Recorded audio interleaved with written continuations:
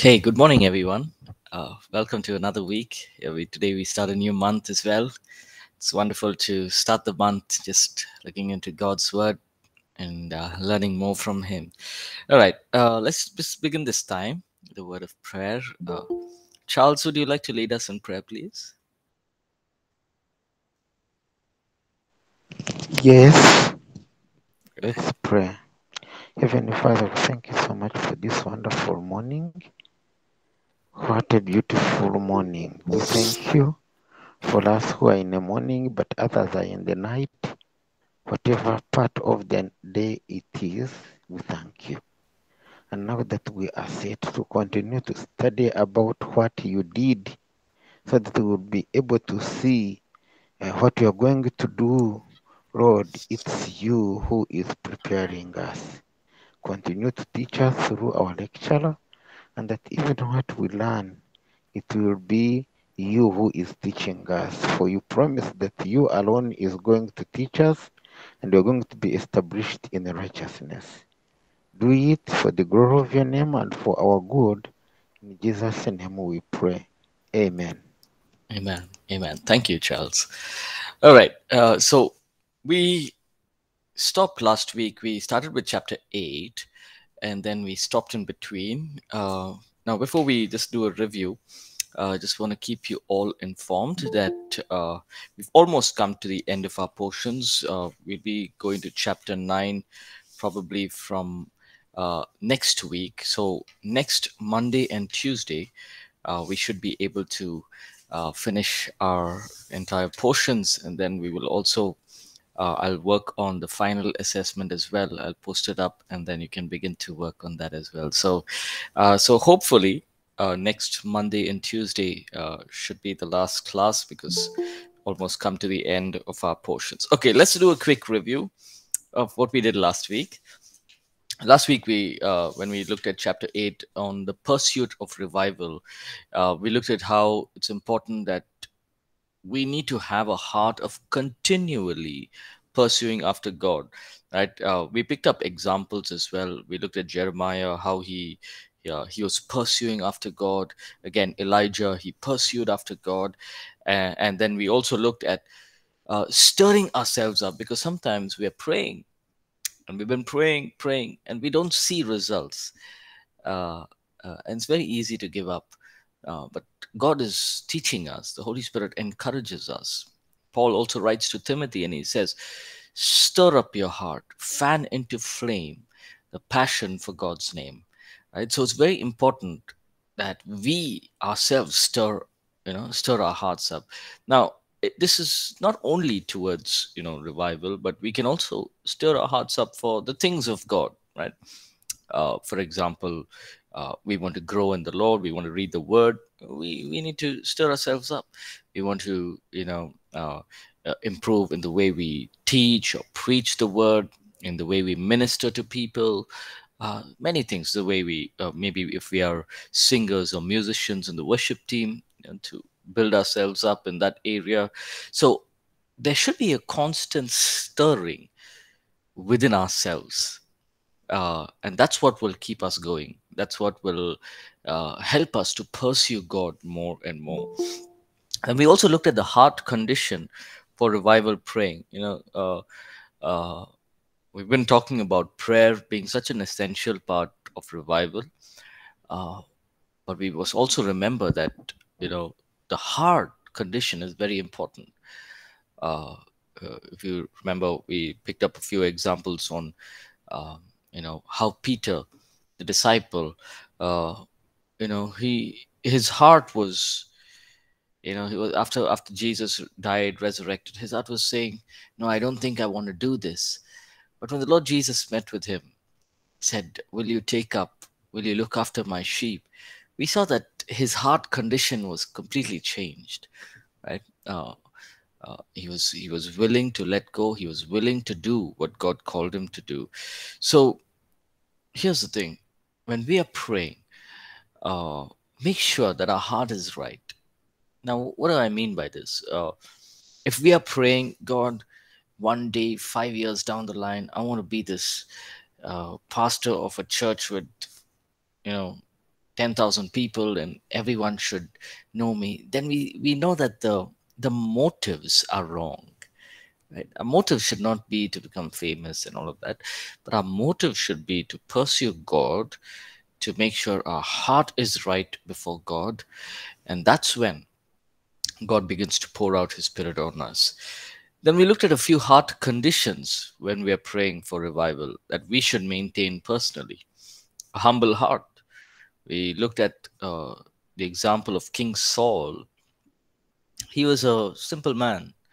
Uh, he, the Bible says that he thought very small of himself.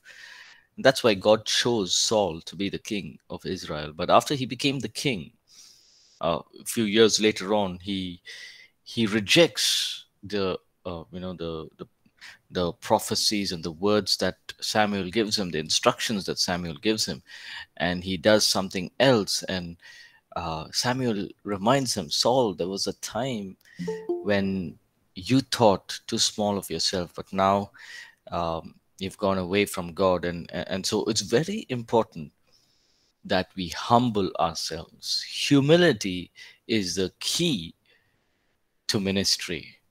Right? Is, is, is, it's the key.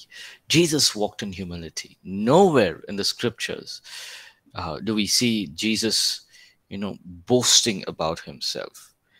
He just spoke the truth. It when, when we read it, it looks like he's boasting, but it's not. He's just speaking the truth. He's saying, Hey, before Abraham was, I am, which is the truth right uh, so our heart needs to be humble right uh, it, yes of course sometimes you know uh, we may feel uh, especially if your leaders or your pastors you know your church members come and say hey thank you for leading worship. It was a wonderful time.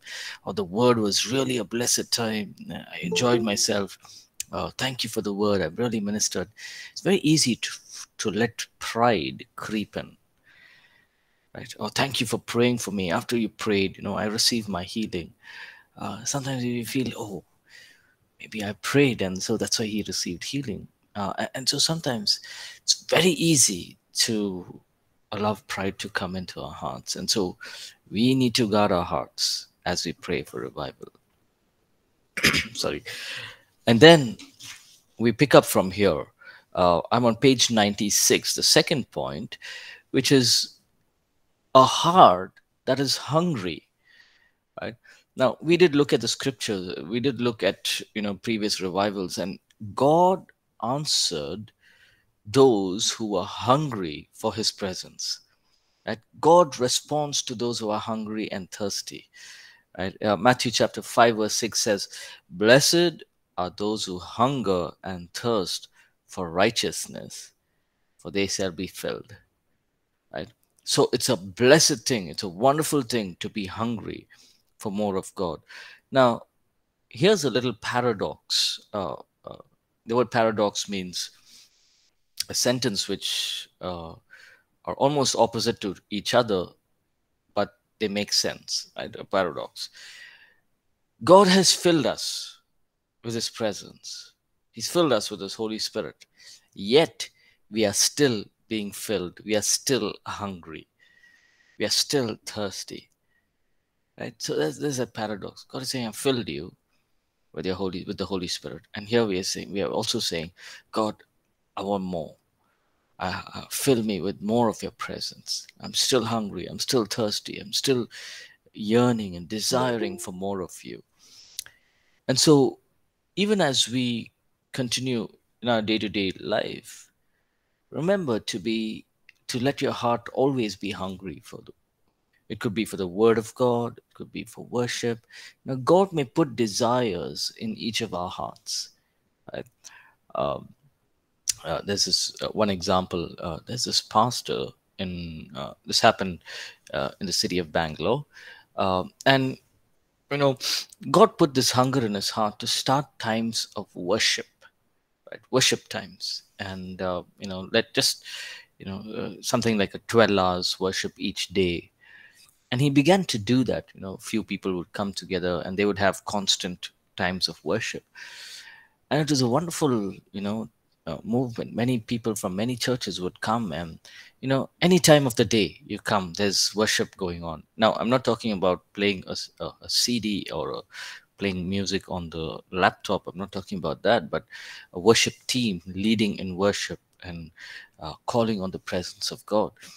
Uh, and we've seen, you know, during that whole time, many people received healing. Many people were comforted, uh, and and why did that happen? Because when we are hungry, when we desire more of God, God will, you know, fill us. He will respond to our hunger.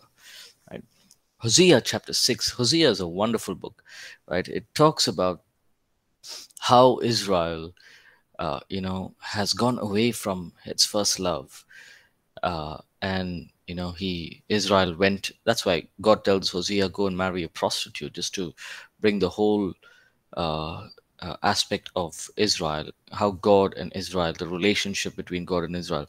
And so hosea is a wonderful book. Towards the end of the book hosea chapter 6 onwards he's saying come let us return to the lord. Let's read that. Hosea chapter 6 1 to 3 um, can one of us please read that? Um, Hosea chapter 6, verse 1 to 3. It's in the notes.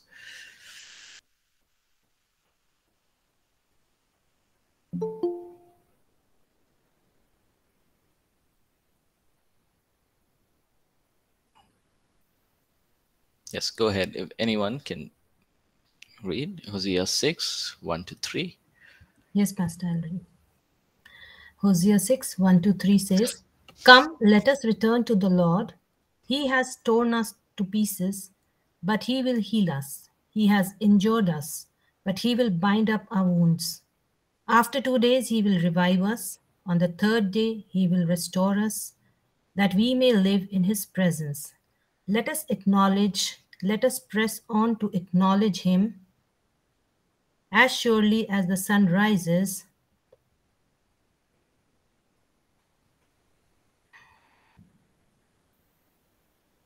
sorry. Uh, Verse 3.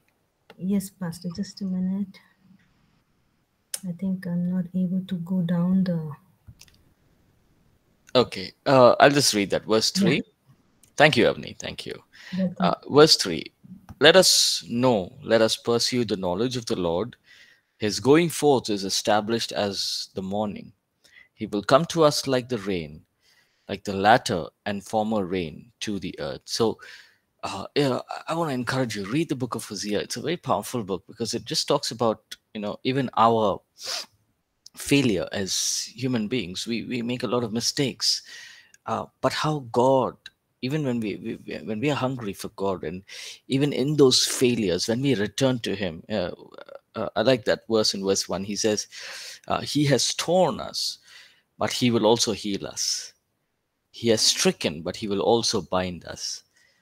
Right? Hosea was hungry for the people of Israel to come back to God. He was saying, "Don't don't abandon God." Don't abandon what God has for you. Don't go to a prostitute or don't go to the things of this world, abandoning the God who created you. Uh, and so he was very hungry. He was he was very, uh, you know, his heart was so moved by what was happening in the nation of Israel. Uh, and we see towards the end that God uh, God turned the entire nation through this one man, Hosea. Uh, When I talk about the nation, I'm talking about uh, the northern Israel. And so it's wonderful that you know the more we are hungry, the more God will hear our prayers. Right now, I'm not only talking about revival, but it could be anything that we've been praying for. Uh, never stop being hungry right? Uh, never come to a place where we feel okay i think uh, uh, this should be enough. No we should always say god want more of your presence right? Uh, third one a heart that is passionate and persistent right? Uh, now we did look at the example of elijah and uh, the book of elijah in, in james chapter 5 uh, james is talking about elijah and how he uh, you know he prayed for rain and he was persistent in his prayer elijah didn't give up right uh, he was passionate in his prayer as well. Right? Whenever you, we we see Elijah, we we see the prophet, uh, he was passionate. Right? Uh, even as he was in in Mount Carmel, he was so passionate about God. Right? Even here, when he was praying for the rain, he was passionate. He was persistent. He knew that God will answer his prayers right? So when we pray with for revival when we pray for our own families for our own personal lives our ministries we must pray with a heart that is on fire. We must be passionate about what we're doing. We must be zealous and not give up until we see god's move in our midst right? Uh, the reason we need to be persistent is because sometimes you know we can be passionate about things but we may lose the sense of being persistent. Right? Let me give you this example. When I just uh, became a believer, uh, it usually happens to everyone where you know you just become a believer you're so excited you're passionate about god and i said okay i'm going to do this right i'm going to pray and i'm going to fast and pray for so many days maybe i don't remember how many days it was but maybe about 10 12 days uh, and so I would do that, right? I said, God, you have to do this for me. You, you, you have to, you know, fill me with your Holy Spirit and help me this way and that way. And I would fast and pray, right? So the first month, two months, three months, six months. And I realized after six months, I was still the same, right? Uh, through all the fasting, through all the, uh, you know, uh, uh times of sacrifice and prayers and all of that, everything was still the same. I thought to myself, you know, I, I noticed that I didn't want to fast anymore. I didn't. Uh, I, I, would pray, but I didn't want to fast anymore, and uh, you know, only because I didn't see the answers to the prayers. Now, what was in my mind was, okay, if I fast and pray, um, God will give it to me, right? Uh, now that was a wrong understanding. Right? Yes, God expects us to fast, pray, and uh, seek Him and all of that. Uh, but it does not mean that when we fast, pray, immediately we will see the answers. That is why, you know, and later on, I came to know, I came to this understanding that, hey, it's not only about being passionate for God, it's also this thing of being persistent in prayer.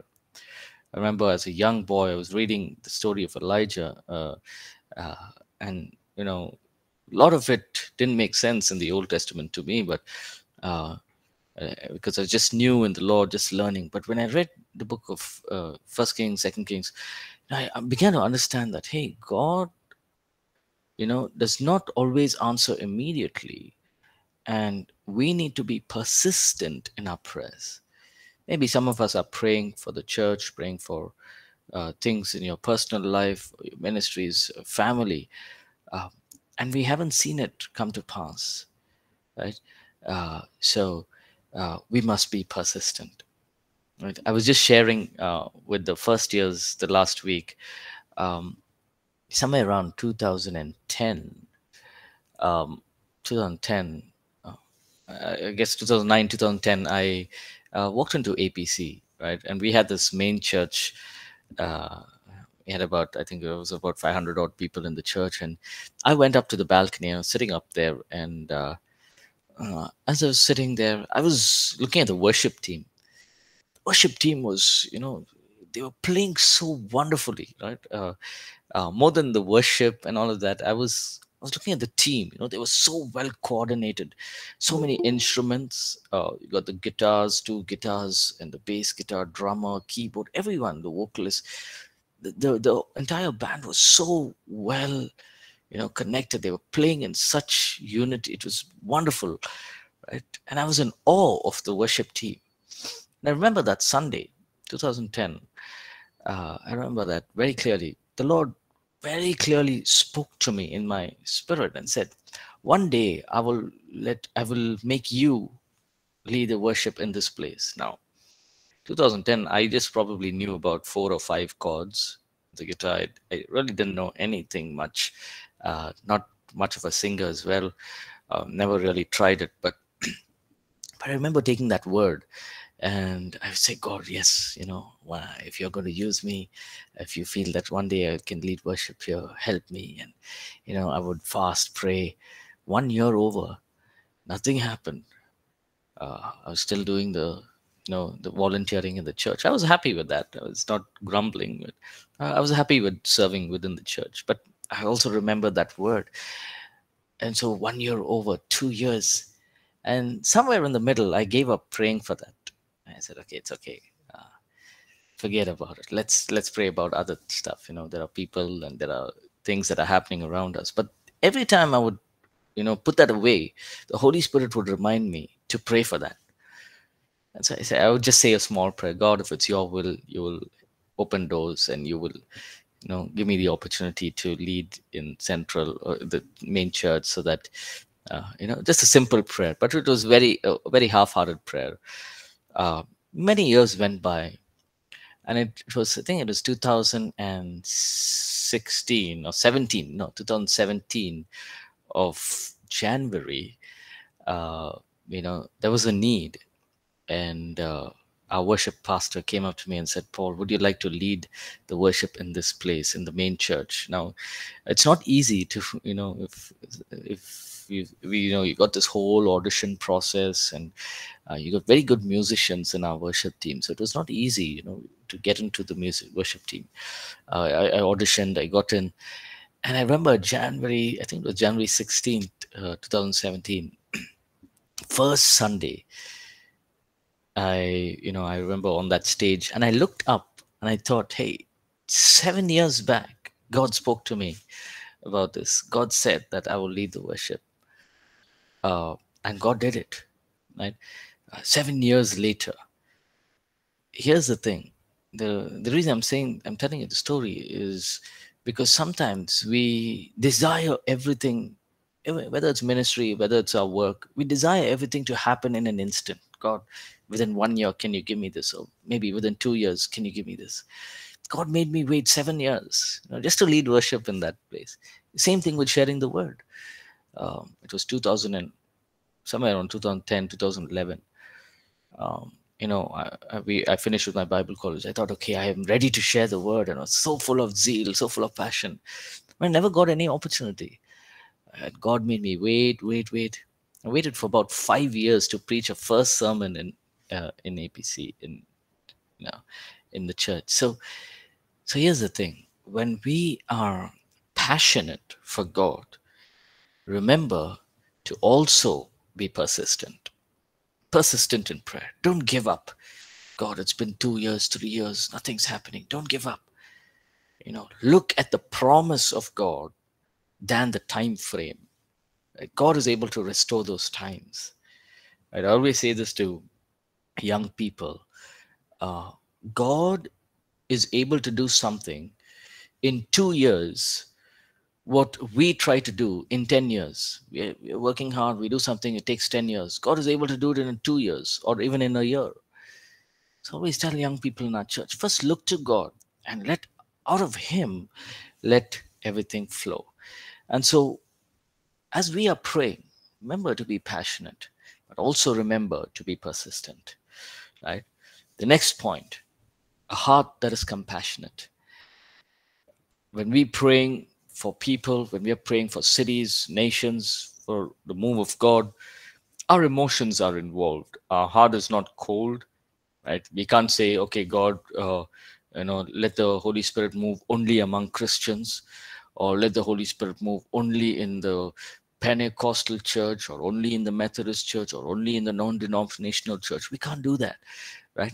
Our heart should be compassionate. Our heart should say, God, this what you have given me let it be for everybody. Let everyone experience the presence of god uh, a heart that feels pain a heart that feels agony uh, uh, anguish for sin a heart that is uh, you know uh, uh, is always saying god bless these people. They don't know who who you are. Um, and wonderful thing is jesus himself he ministered out of compassion right? Uh, it's wonderful when we read the book of John. It's it's it's so interesting because uh, you know the the thousands of people that followed Jesus, Jesus knew that they were not, uh, you know, they only wanted healing. They didn't, they didn't believe Jesus was the Messiah. Uh, they just wanted the healings. They just wanted the miracles, and yet they followed Jesus up that mountain. Wherever he went, thousands of people came.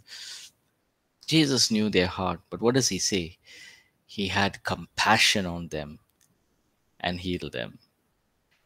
And he had compassion on them. And so, when we pray, we are to have compassion on people.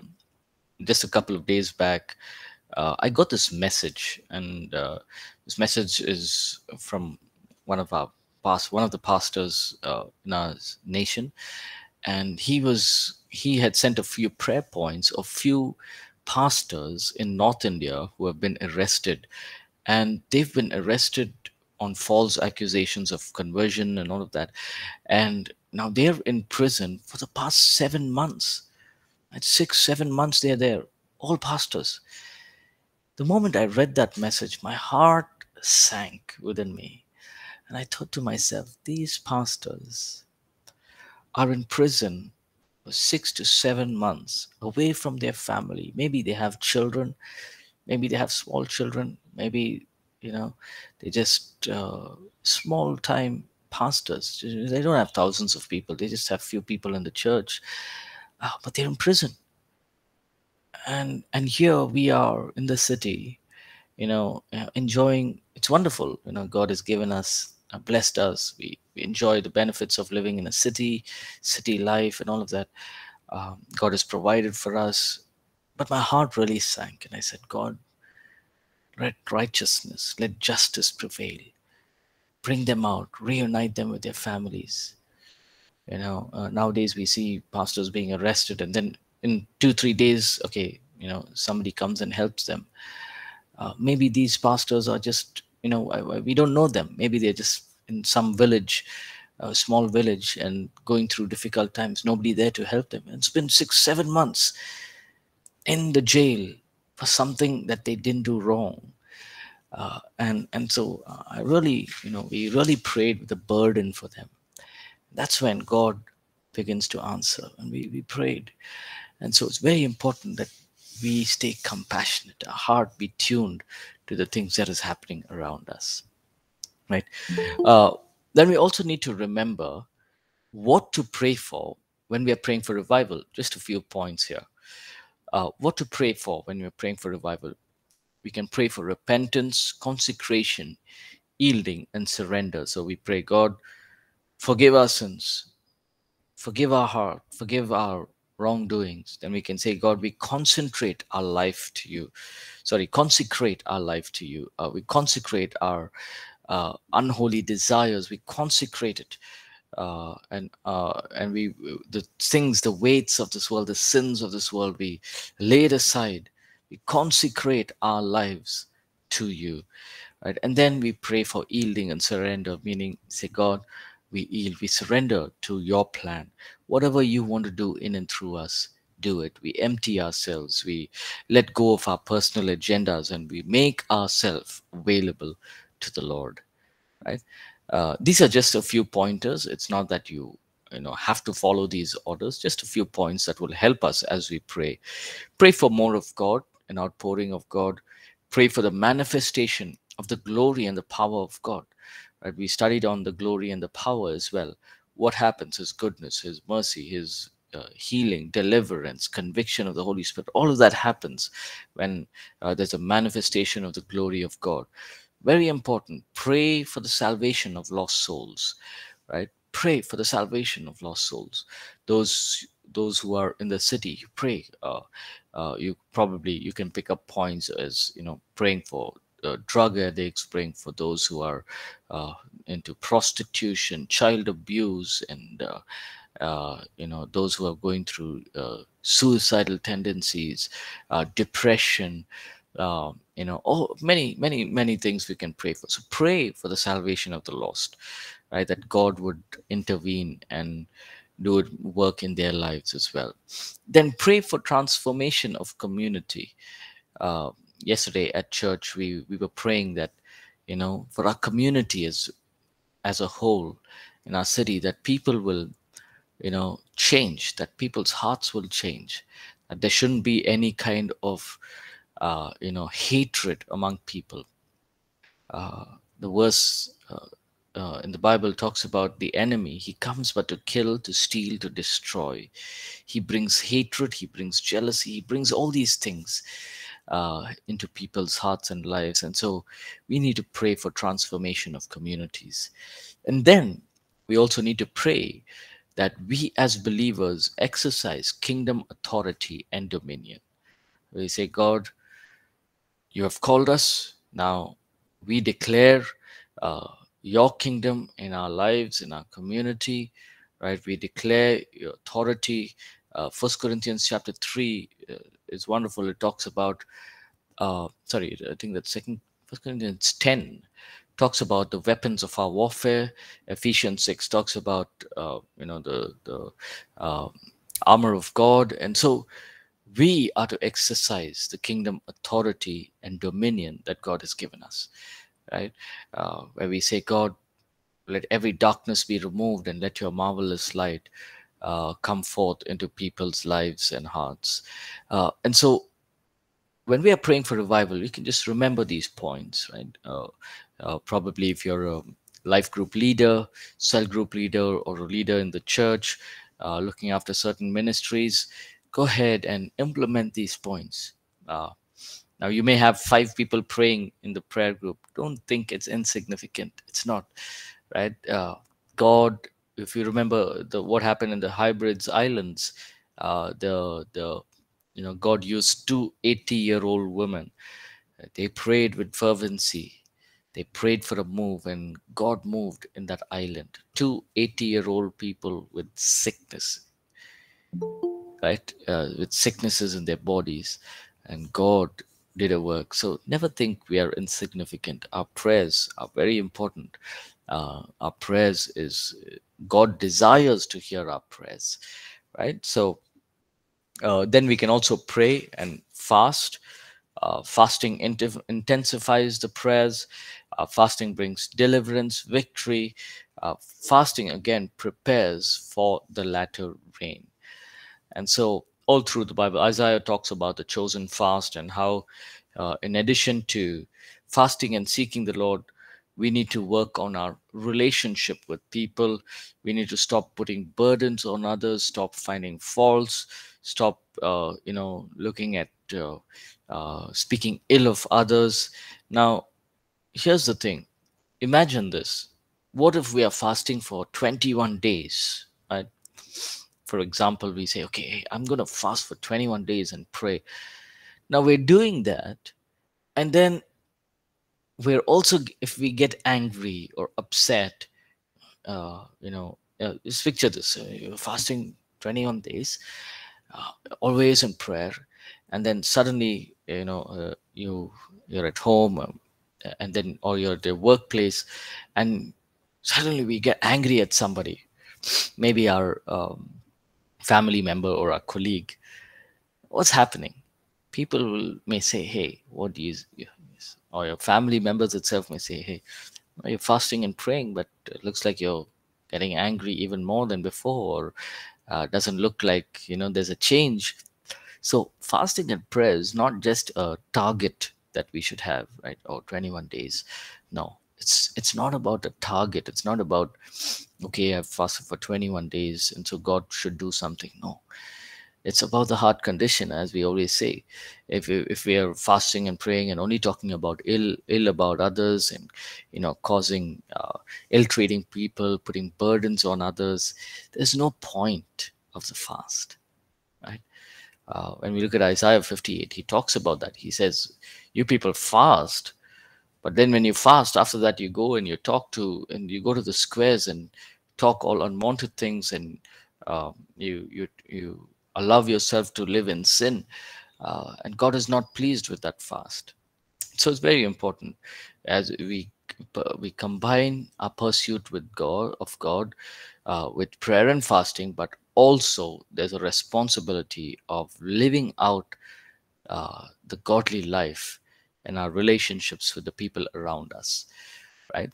Uh, i remember this uh, uh, young man uh, many years ago. Uh, he had uh, come to me, and his mother came to me and said, "Oh, uh, Pastor, can you please talk to him?" Uh, I said, "What's the matter? No, he's only fasting and praying at home, um, you know, but he's not looking out for a job. He's just sitting at home. Yeah, of course, he's praying, he's fasting. He's not doing anything wrong in the sense like he's not on uh, the internet or not on the TV the whole day, but he is. He's fasting, he's praying, doing all that. Um, but he would not talk to any of us. He would not, uh, you know, uh, spend time with us. He would not look out for a job. Uh, he'll just be in his room. Uh, I know that he's doing, you know, prayer or reading or he's doing something fruitful, but how long can he do this? Right? Uh, we need to support our family. And every time I tell him, he would get upset. He would say, you know, you're not trusting God. Uh, when we pray, God will answer our prayers. God will provide for us. So I had to really sit with this young man. I had to tell him, see, it's wonderful that God is, you know, uh, put this in your heart to fast and pray and sit and seek his face. Um, but just by praying, uh, you know, this God is not going to, you know, say, okay, every month I'll provide for the rent or I, I'll provide for the groceries. No. God has given us the responsibility to work. Oh find a job. So i had to pick up a lot of examples. I had to say how we need to you know in as we walk the spiritual we also need to fulfill the things in the natural. Uh, and so i told him this example. When god made adam and he put him in the garden. He didn't say adam go sit under the tree and enjoy yourself or just keep praying to me. No he said adam till the ground work on it. And then when you work on it i will make it fruitful. I will make it multiply. So after explaining a lot he got the whole understanding you know. Uh, so it's very important that we understand these things spiritual truths. We're praying for revival. We're praying for a move of god we're praying for our families whatever we're doing praying but also do the practical things of you know uh, being with your family providing for the family uh, you know uh, living a godly life setting up good examples within our house, within our community, right?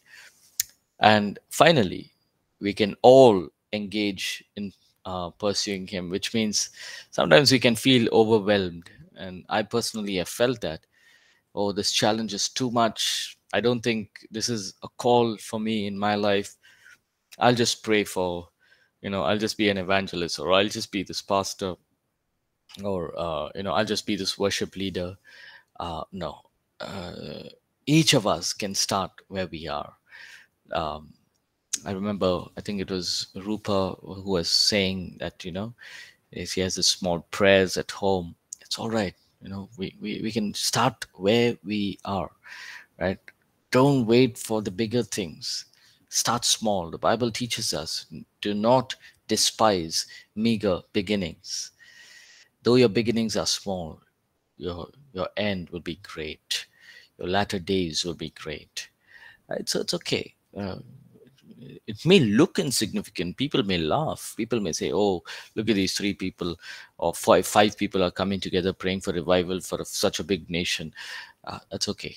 Let even if people mock or ridicule you continue praying continue seeking god continue engaging and pursuing him pursuing a move of god and it's never going to be a waste right? So we end with this chapter uh, chapter 8 and then what we'll do is next week uh, sorry tomorrow we'll start with chapter 9 uh, and then uh, we should follow this up from uh, maybe next monday or tuesday should be our last week uh, right any questions any thoughts i know that most of you have posted your assignments too thank you i will uh, I've been looking at it. I will mark them and I'll put the marks up as well. Um, just another reminder, uh, probably uh, tomorrow after our class, I will post our final semester uh, exam.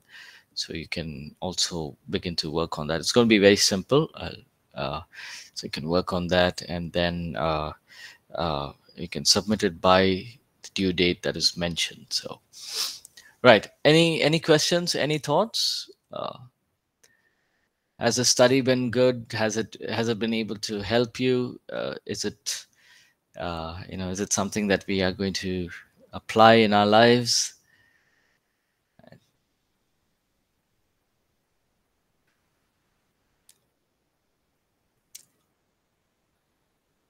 All right.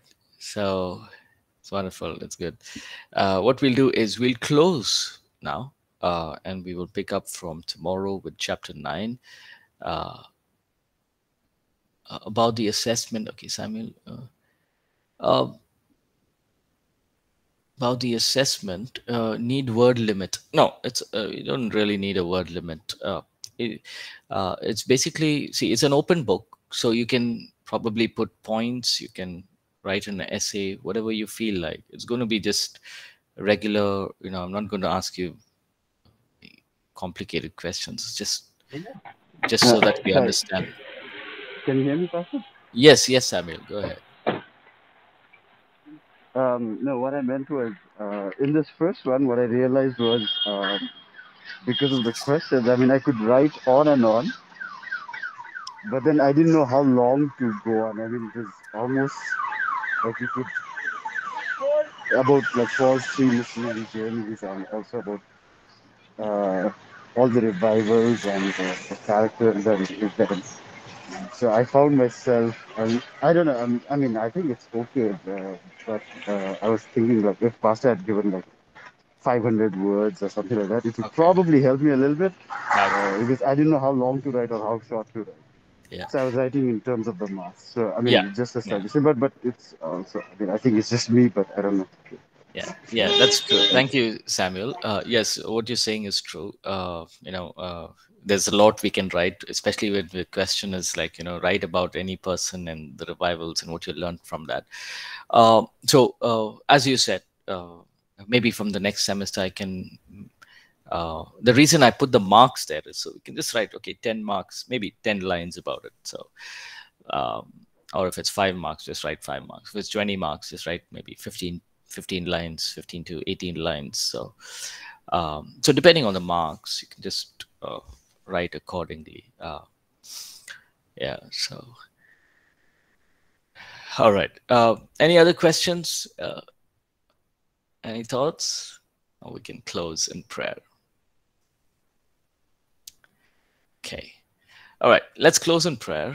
Uh, avni can you please close in prayer for us? Sure, Pastor. thank you Let's pray.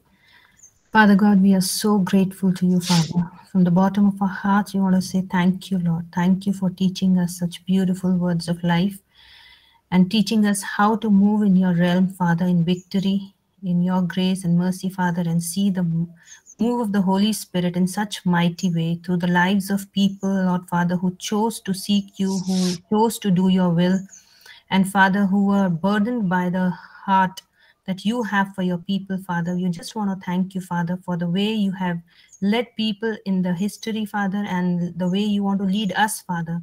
In days to come, Father, may we be burdened with the uh, with the same heart that you have for your people when we see around, Father. Uh, and Father, we would see a mighty move amidst us, Father. And Lord Father, we just want to thank you for teaching us so well through our teachers. We want to bless them all, Father, with your wisdom and favor to carry them their duties out, Father, as they're doing it heartfully, Father. We just want to thank you for each of our teachers and for Pastor Paul as well. Bless him and his family, Father. Continue to lead each of us and our families, Father, in your plans and purposes that we may do your will. And Lord Father, in the days to come, we may see your mighty move in our city, in our nation, in our localities, Father. We would just want to thank you once again for everything that you have provided for us, Father, so that we could know you more, love you more, and walk in you more. Once again, we thank you and we bless your holy name. In the matchless and precious name of Jesus, our Savior, we ask and pray. Amen. Amen. Amen. Thank you, Avni. Thank you, everyone, for joining. Uh, we will catch up tomorrow and pick up from chapter 9. God bless you. Have a great day ahead.